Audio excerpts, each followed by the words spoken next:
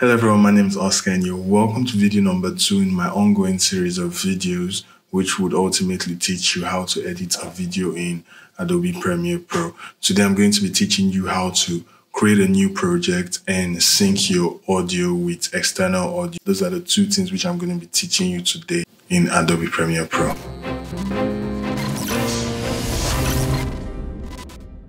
So to get started, I'm going to open up Adobe Premiere Pro and when you open Adobe Premiere Pro, you're going to be greeted with this welcome screen. It shows you the recent projects which you've been working on with Adobe Premiere Pro. But we're not going to be looking at that today. Ultimately, we're trying to edit a video. If you're going to be editing along with me, the files which I'm going to provide you are files from our previous Straight Inferno session. So it's a music-based video. So we're going to be creating a new project for the purpose of that. So I'm going to go here and click on new project and I'm just going to type SI Tuts. So we call this SI Tuts, which stands for Straight Inferno Tuts. So because we're going to be learning how to edit a video like Straight Inferno. So, okay. And yeah, wait for that to load up. Once that loads up, we're going to import our files in. So this is why the Final Cut boys always have a dig at us because of situations like this. So now we've got Adobe Premiere Pro open and first thing you're going to do when you open up Adobe Premiere Pro to get started with your video editing, you're going to go get the files which you need to edit. So there are many ways to do that. Down here in the project panel, it's got import media to start. You can just simply double click that and it's going to bring up the Finder panel and then you look for wherever your files are placed and bring that in. I don't use that normally because I want to be teaching you how I edit. This is normally have my files because I have my files arranged beforehand. What I do is I go into the Finder and I look for the file. But For this case, we're using Logos Olori. I just need the video and the audio. So I'm going to command click that and drag it into Adobe Premiere Pro like so. And they still retain the same order which they had in the file Explorer. So the video files are under the video bin and the audio files under the audio bin. What this does, it makes for organized looking project panel. You don't want a project panel. By the time your project starts getting bigger and more complex, you find that your project panel is a mess to manage and you can't find essential files and it just slows things down. So you want to be organized from the get-go and that's what that file management system helps you do. So quickly moving on, I want to show you how to sync these video files with the music file, which is this track here. I sync my video files with music tracks or external audio with a software called PluralEyes and it's pretty simple and intuitive. I'm going, I'm going to show you how that works. Click PluralEyes, you will be greeted with this. Yes, so now I've got PluralEyes open. As you can see, it's got Add Media, Synchronize, Export add media is the one we're going to go, or we can just simply using my file management system, drag the video and audio and drop it. Saves a lot of time, right? You see why my file management system actually works. That's one of the good parts about it. It works across various workflows. Even if you're a graphic designer, this might come in handy in the way you organize your files. So I've dragged and dropped that now and it should be able to synchronize. You can see six clips ready to synchronize and I'm going to click synchronize. Oh, synchronizing one because it's not meant for this kind of projects. So since it synchronized that, you're going to click export timeline and name it.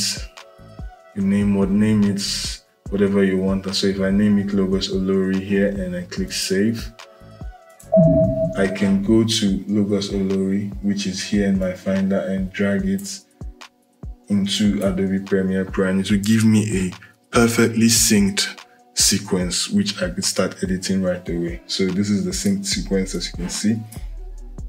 If I drag that in, it is already synced for me and I can start working on that if I wanted right away. So I'm not going to be using that anyway. So I'm going to take that back and I'm going to be showing you how I sync my audio with my video manually. It's quite a good process. I'm going to put on my headphones for this. So you can follow along. You know that Premiere Pro has some of the craziest bugs. Like I just went through some crazy bug right now in Adobe Premiere Pro and I could have given up recording this video because of this bug, but it was a great thing I had to research it and I found the cause. So I'm selecting the first clip here, which is CO165. And so I'm going to take this clip to the bottom and I'm going to clear the in and out markers. You're not going to see that, that's because I've already selected some partial bits from this clip earlier on, but I'm going to clear that for the purpose of this. And so I've got my clip here. I'm going to create a new sequence with the audio. So I'm going to find the audio in the project and since I have the audio there, I'm going to go back, create a new sequence from this clip. So this is the clip I want to sync my, I want to sync this clip up with the audio file. So I've created a new sequence. I delete that and I'm going to take the audio into that. So Logos Olori. So I have my audio laid out here. Let me play the audio so you guys can hear it.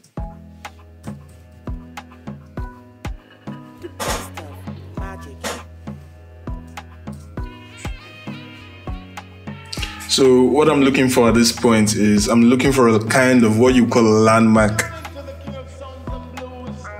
so there's a drop coming down. That's a drop.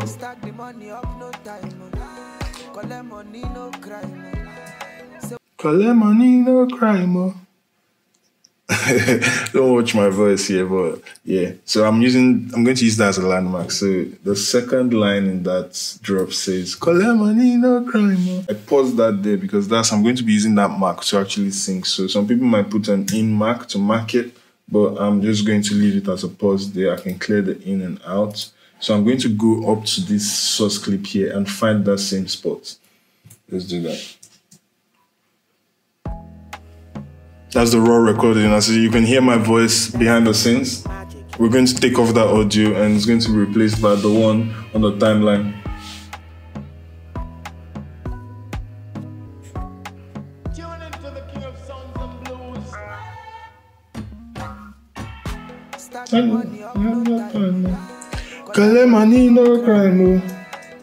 So what happened just there? It happened so fast you might have missed it. But when I got to the landmark which I was looking for, I used a marker on it and I pressed I. So I is the in marker. If you use O, that's the out marker. Those are two important shortcuts which you should keep in mind as well for Adobe Premiere Pro. So I've used my in marker and I'm going to drag that in point without the audio by dragging this video icon right here to where my cursor is on the timeline and let's see if that matches up.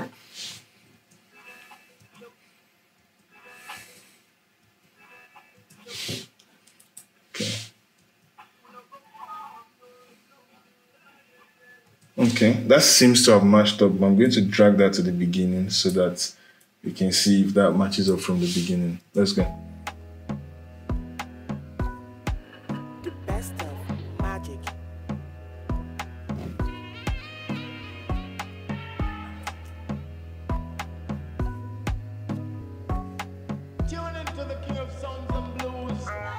Okay, let's go.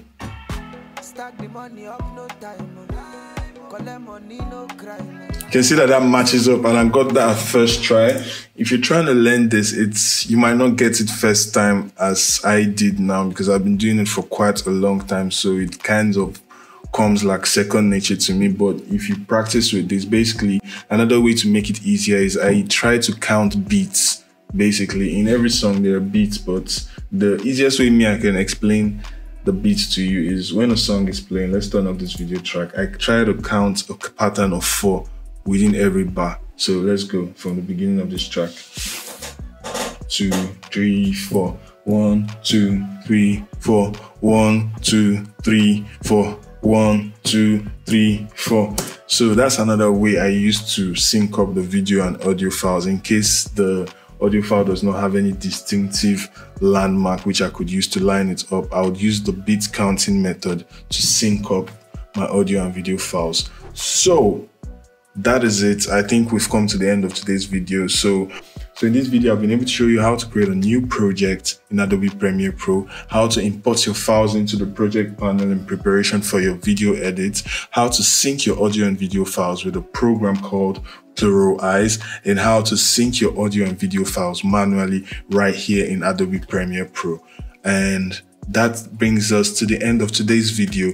Next video, we're going to be talking about something else on this same edit process. And if you still want to continue on this learning process, I would advise you not to miss that video. This is an ongoing series and the videos are all connected. If you watch from the start to the finish, you should be able to pick up and edit a reasonably good video in Adobe Premiere Pro by yourself. So till next week, if you found some value in this video, like, leave a comment, subscribe and share this with your friends and I would appreciate that so much. Till next time, have a good day and see you soon.